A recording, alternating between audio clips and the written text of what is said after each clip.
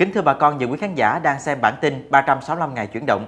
Bên cạnh cập nhật thông tin nông nghiệp hữu ích, mỗi ngày chúng tôi còn có những mô hình tham khảo, sản xuất hiệu quả có lời cao gửi đến bà con như sự chia sẻ giúp nông dân nắm kịp xu hướng nông nghiệp hiện đại. Lâm Đồng đang chuyển đổi nhiều cây trồng làm đa dạng sản phẩm nông nghiệp. Những giống rau củ qua nhập ngoại cũng được trồng thử nghiệm thành công. Mời bà con điểm qua thông tin nào mà chúng tôi sẽ đưa ngày hôm nay. Giá ếch thương phẩm miền Tây sau thời gian ổn định đột ngột giảm sâu. Năm 2018, nhiều giống qua nhập khẩu tăng mạnh so với năm 2017. Một nông dân sáng chế thành công máy thu hoạch ốc hương thay vì mất cả ngày thu hoạch, nay chỉ còn tốn 2 tiếng đồng hồ. Sản xuất nông nghiệp công nghệ cao, huyện Đơn Dương còn khó khăn, chấp vá, chưa đáp ứng nhu cầu sản phẩm thị trường.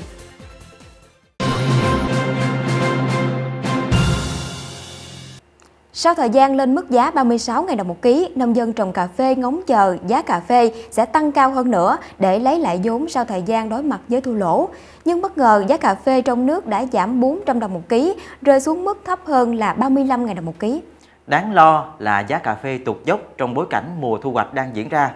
Hiện giá cà phê nguyên liệu trong nước giao dịch ở mức từ 34.400 đồng đến 35.200 đồng một ký Giá cà phê nhân xô thấp nhất là 34.400 đồng một ký tại tỉnh Lâm Đồng và cao nhất là 35.200 đồng một ký tại tỉnh Gia Lai. Thưa bà con và quý khán giả, Trung tâm Nghiên cứu Khoai tây, Rau và Hoa đang tổ chức liên kết với các nông hộ tại Đức Trọng, Đơn Dương, tỉnh Lâm Đồng và tại các vùng nông nghiệp khác ở tỉnh Đắk Lắk sản xuất khoảng 100 hecta khoai tây đô bắc của Hàn Quốc trong vụ đông xuân 2018-2019. Trước đó, giống khoai tây này đã được Trung tâm Nghiên cứu Khoai tây, Rau và Hoa trồng khảo nghiệm thành công ở Đà Lạt và các huyện phụ cận. Thời gian chăm sóc thời vụ khoảng 95 cho đến 100 ngày, thu hoạch đạt từ 8 đến 10 củ một cây, năng suất trung bình là hơn 27 tấn mỗi hecta, lợi nhuận hơn 100 triệu đồng mỗi hecta một vụ.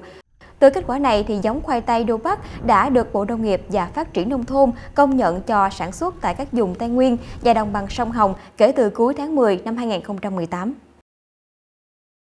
Du khách đi du lịch muốn ờ, tận hưởng không khí mát mẻ và ngắm thiên đường ngàn hoa thì đến ngay Lâm Đồng. Tỉnh Lâm Đồng đẹp nên thơ như vậy nên là cũng nhờ có hoa cỏ tự nhiên. Theo đó là nhà vườn đã nhập khẩu nhiều giống hoa ngoại về canh tác nhà kính, phát triển kinh tế gia đình. Nhiều ờ, vườn hoa đã thu hút đông du khách đến thưởng lãm. Thông tin từ Chi cục Trồng trọt và Bảo vệ thực vật tỉnh Lâm Đồng, trong năm 2018, toàn tỉnh đã nhập về hơn 65 triệu 400 ngàn củ, cây, ngọn, hạt, cành hoa, của 44 chủng loại đem về gieo trồng, tăng mạnh so với năm 2017. Tỉnh Lâm Đồng hiện có 14 công ty nhập khẩu giống hoa, phần lớn từ Hà Lan, Chile, Pháp và New Zealand. Năm 2018, các doanh nghiệp đã nhập về trên 47 triệu 700 ngàn củ giống lily, tương đương 150 hecta được trồng tại thành phố Đà Lạt và các huyện lân cận.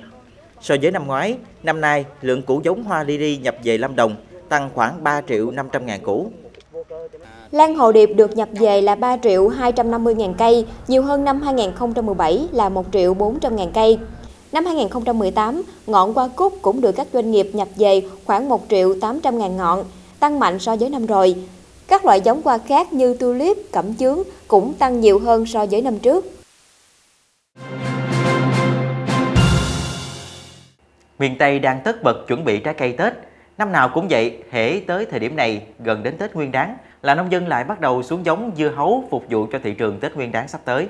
Mặc dù dưa hấu của nhà vườn tại huyện Vị Thủy, tỉnh Hậu Giang chỉ mới gieo hạt mà thương lái đã đặt tiền cọc với giá cao. Năm nay để đáp ứng được thị trường nông sản sạch, nông dân đã đầu tư sản xuất trên 8 hecta theo tiêu chuẩn Việt Gáp. Năm nay giống dưa hấu được người dân trồng tương đối đa dạng như là mặt trời đỏ, thành long, tiểu hắc long, Bà con nông dân cho biết thời điểm này thương lái đã đến tận ruộng dưa hấu để đặt cọc với giá sàn là 7.000 đồng một ký đối với dưa không hạt và 5.000 rưỡi một ký đối với dưa có hạt. Khi thu hoạch nếu dưa hấu ngoài thị trường cao hơn đặt cọc, người dân sẽ được hưởng thêm một nửa phần chênh lệch. Sau nhiều lần giá ếch giảm sâu đến đầu năm 2018, giá ếch tăng mạnh trở lại, có lúc đạt tới mức kỷ lục là khoảng 42.000 đồng ký, nên nhiều nông dân ở các địa phương trong tỉnh Đồng Tháp đã mạnh dạng tái sản xuất. Đến thời điểm này, ếch đến lứa xuất bán với số lượng nhiều nên giá cả cũng đã giảm mạnh. Nguyên nhân giá ếch giảm là do cung vượt cầu, bởi vì đầu ra chủ yếu là thông qua thương lái. Mặt khác, thời điểm này mùa cá ra sông, sản lượng cá đồng về chợ cũng nhiều cho nên đã tác động đến sức tiêu thụ ếch tại các chợ đầu mối. Giá ếch được cộng tác viên của chúng tôi ghi nhận như sau. Hiện tại ở huyện Hồng Ngự, giá ếch loại 1 từ 3 đến 6 con một ký có giá khoảng 30.000 đồng một ký, loại 2 chỉ còn 28.000 đồng một ký. Trong khi giá thành một ký ếch thương phẩm là trên 27.000 đồng một ký, nên người nuôi ếch khó có lời.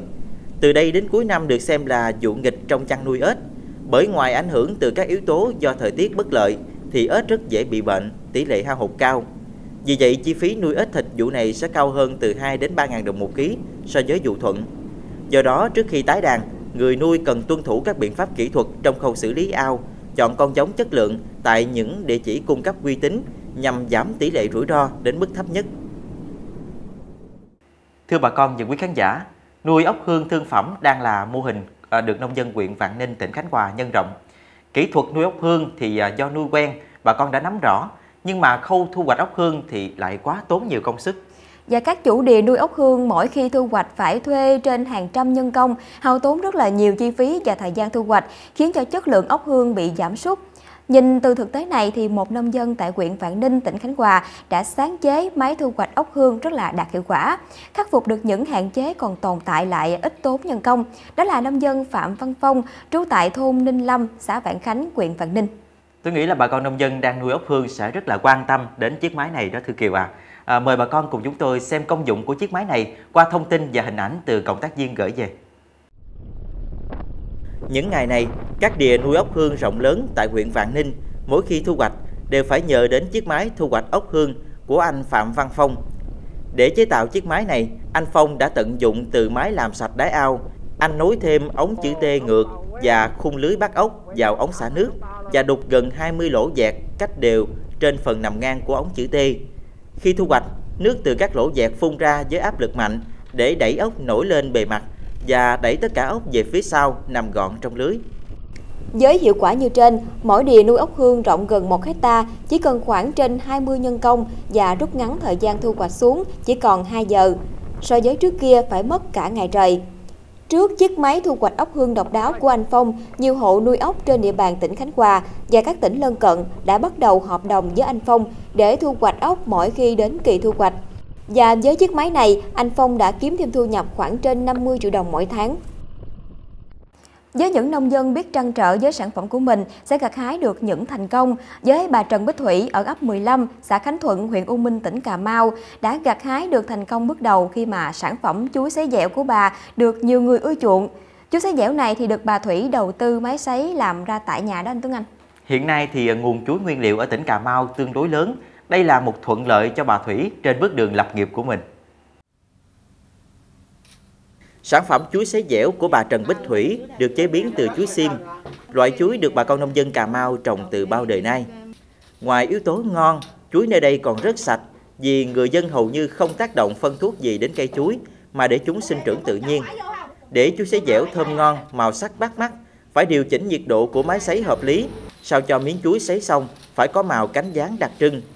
Chuối sấy dẻo được đóng gói, hút chân không, có thời gian sử dụng 6 tháng.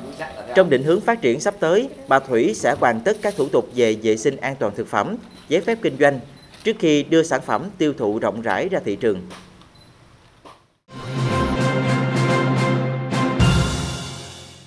Hiện nay, các vùng sản xuất rau hoa trên địa bàn các huyện, thành phố của tỉnh Lâm Đồng xuất hiện một số loại bệnh gây hại, đặc biệt là virus gây hại trên cây cà chua và hoa cúc tiếp tục lây lan mạnh đã gây tổn thất lớn cho bà con nông dân. Trước thực trạng trên, Ủy ban Nhân dân tỉnh Lâm Đồng đã chỉ đạo Sở Nông nghiệp và Phát triển Nông thôn khẩn trương phối hợp với các địa phương tăng cường công tác quản lý vật tư nông nghiệp, nhất là công tác quản lý xuất nhập khẩu, sản xuất giống tại các cơ sở gieo ươm, kiểm tra hướng dẫn các cơ sở sản xuất, kinh doanh giống trên địa bàn, thực hiện đúng các quy định pháp luật về sản xuất, kinh doanh giống cây trồng, Bên cạnh đó, các cơ quan chức năng phải hướng dẫn, vận động các vườn ươm nâng cấp, chuẩn hóa để sản xuất cây giống đảm bảo chất lượng, sạch virus. Tuyên truyền hướng dẫn nông dân sử dụng nguồn cây giống khỏe từ các vườn ươm đã được công bố tiêu chuẩn chất lượng, cây giống mới xuất vườn không nhiễm virus. Hơn một năm qua, dịch bệnh liên tục xuất hiện trên cây cà chua và trên hoa cúc gây hư hại cây trồng. Các cơ quan chức năng đã vào cuộc, xác định nguyên nhân gây bệnh là do một loại virus gây ra. Thưa bà con, mặc dù là địa phương đi đầu sản xuất nông nghiệp ứng dụng công nghệ cao, Tuy nhiên do bước đầu cho nên việc chuyển đổi từ sản xuất truyền thống sang áp dụng công nghệ mới vào nông nghiệp làm nông dân khá là cập rập, nhất là nông dân chưa qua tập huấn kỹ thuật về công nghệ hiện đại. Việc sản xuất công nghệ cao trong nông nghiệp vì thế cũng chưa đồng đều và còn nhiều khó khăn. Nhà nông huyện Đơn Dương còn không ít khó khăn đối mặt. Trong đó thì vốn dường như là khó khăn chung không chỉ Đơn Dương mà ở cả các vùng khác. Mời bà con và quý khán giả cùng xem phóng sự sau đây để hiểu rõ hơn. Đến nay, diện tích sản xuất ứng dụng công nghệ cao ở Đơn Dương là gần 10.000 hecta, chiếm tỷ lệ trên 80%. Năng suất rau thương phẩm trung bình đạt 336 tạ một hecta. Hiện toàn quyện có trên 300 hecta cây trồng các loại được chứng nhận Việt Gáp. Sản xuất nông sản hữu cơ bước đầu được triển khai với quy mô hộ gia đình. Nếu so với thành phố Đà Lạt, việc ứng dụng công nghệ cao vào sản xuất rau và hoa của nông dân Đơn Dương có phần trễ và mức độ đầu tư ở nhiều nông hộ cũng chưa thể sánh bằng. Tuy nhiên, nhờ phát triển sau nên nông dân Đơn Dương có điều kiện tham khảo những mô hình hiệu quả, nhiều cách làm hay trước khi quyết định hướng đầu tư nào phù hợp với điều kiện sản xuất ở gia đình mình. Với kinh nghiệm thực tiễn đảm bảo và mong muốn nâng cao thu nhập trên mỗi đơn vị canh tác, nhiều nhà nông ở huyện Đơn Dương đã tạo dựng thành công nhiều mô hình nông nghiệp ứng dụng công nghệ cao cho thu nhập khả quan. Tuy nhiên, không phải nông hộ nào cũng có đủ tiềm lực kinh tế để đầu tư sản xuất nông nghiệp ứng dụng công nghệ cao bài bản và chuyên sâu vì nguồn vốn hạn hẹp. Tại một số nông hộ, đầu tư nông nghiệp ứng dụng công nghệ cao còn chấp giá, quy trình canh tác chưa bài bản. Nếu mà tính 2-3 năm nay thì thời tiết đã thay đổi và so với cái mức đầu tư, so với những năm trước thì nó sẽ tăng lên rất nhiều. Cái vùng của em hiện tại là người ta đang có một số hộ là người ta có nhu cầu là lên là nhà lưới rất là cao. Nhưng mà hiện tại là cái chi phí người ta tính tới chi phí, người ta không đủ cái chi phí đó thì thứ nhất là cần cái hỗ trợ về cái nhà lưới. Thứ hai là cái hệ thống, cái công nghệ cao. Để hỗ trợ cho các cái kinh tế tập thể thì cũng vẫn chưa được vay những nguồn vốn đấy mà hầu như là chúng ta chỉ vay theo cái kinh tế hộ hộ gia đình đấy thì cái nguồn vốn nó rất là thấp Đầu tư nông nghiệp công nghệ cao giúp nhà nông chủ động trong đầu tư sản xuất, hạn chế được dịch bệnh, thuận tiện triển khai các giải pháp đầu tư chăm sóc cây trồng. Những yếu tố đó đã tạo điều kiện thuận lợi cho bà con nông dân sản xuất trái vụ với năng suất và chất lượng nông sản đảm bảo cung ứng cho thị trường. Tuy nhiên, do ảnh hưởng của biến đổi khí hậu, thời tiết nhiều thời điểm khắc nghiệt làm cho sâu bệnh hại trong vườn bùng phát, mà dịch bệnh trên cây họ cà gây hại nhiều hecta cà chua thời gian qua là một ví dụ. Ngoài ra, phần lớn nông sản của nông dân Đơn Dương sản xuất không thông qua hợp đồng, nên tình trạng thừa hàng dội chợ, giá cả nông sản bấp bênh vẫn thường xảy ra. Nhiều hình thức liên kết đã được triển khai nhằm thuận tiện trong việc áp dụng đồng bộ các quy trình canh tác tiên tiến và tiêu thụ nông sản cho bà con nông dân. Tuy nhiên hiệu quả vẫn còn hạn chế. Là cái gì ạ? Nông dân hiện nay vẫn sản xuất theo cái gọi là số lượng lớn đó là anh sản xuất theo cái à, nhu cầu của thị trường trước mắt nhưng mà anh không có theo cái chuỗi liên kết bền vững chúng tôi cũng sẽ tiếp tục để phấn đấu làm sao đó tất cả các cái diện tích à, sản xuất nông nghiệp của Đơn Dương được đầu tư ứng dụng nông nghiệp công nghệ cao ở cái mức độ cao hơn với cái ứng dụng công nghệ thông tin ngày 1 tháng 7 2018 trở đi à, các cái sản phẩm mà rau à, của à, Đơn Dương, của Lâm Đồng khi mà nhập về các chợ đầu mối của thành phố Hồ Chí Minh phải tiến hành sơ chế đóng gói để bảo đảm được cái yêu cầu đối với cái thị trường của thành phố Hồ Chí Minh. Bằng cách đó, quỹ Đơn Dương mong muốn lấy sản xuất nông nghiệp ứng dụng công nghệ cao làm giải pháp then chốt để xây dựng nông thôn mới ngày càng hiệu quả và lâu. Những khó khăn trong sản xuất nông nghiệp hiện nay ở Lâm Đồng đang được ngành chức năng và bà con đang đồng lòng khắc phục. Việc chuyển đổi từ nông nghiệp truyền thống sang hiện đại sẽ gặp khó khăn, nhưng nếu tư duy, bà con nông dân sẽ thay đổi, quyết định tất cả các yếu tố còn lại. Bản tin 365 ngày chuyển động xin được tạm dừng tại đây. Hẹn gặp lại bà con và quý khán giả trong bản tin ngày mai cũng vào giờ này.